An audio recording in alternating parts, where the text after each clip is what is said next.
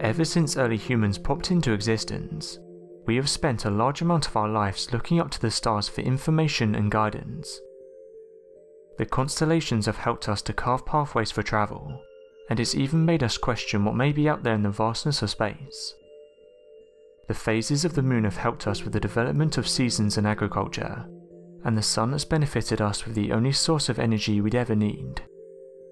This year it appears the heavens will be giving us special gifts in the form of many celestial events. The total solar eclipse is regarded as possibly the most magical natural occurrence of our planetary system, and over the years it's caused many tourists from around the world to travel great distances just to get the perfect view of this magical celestial event.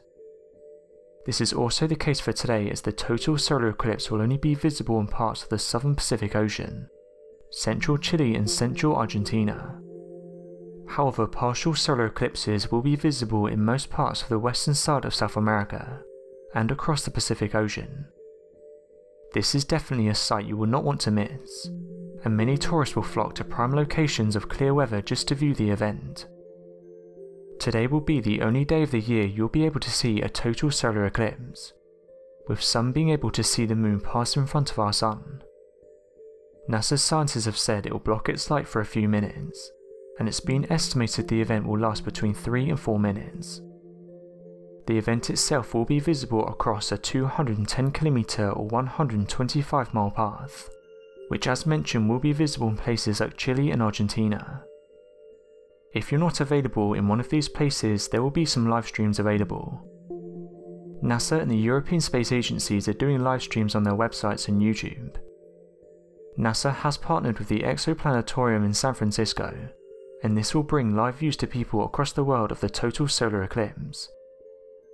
The European Southern Observatory will be providing its live broadcast from Chile. Here they have three telescopes that will be able to bring you the best footage of the event. The next total solar eclipse after today's will be over South America on the 14th of December 2020. So let me know in the comments if you guys will be able to see it, or if you'll be watching one of the live streams.